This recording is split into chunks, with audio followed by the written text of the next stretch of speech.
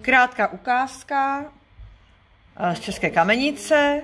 Dnes je 27. května. Eh, máme opět hodinu online a to český jazyk. Eh, některé děti jsou doma, některé děti jsou ve škole a společně plníme úkol opakování schodu podnětu s přísudkem. A jak vidíte, tak děti jsou šikovné, pracují spolu, jak doma, tak ve škole. Takže malinká ukázka, že opravdu tady děti krásně pracují. Takže já jenom jsem zvědavá, aby udělali děti co nejméně chyb.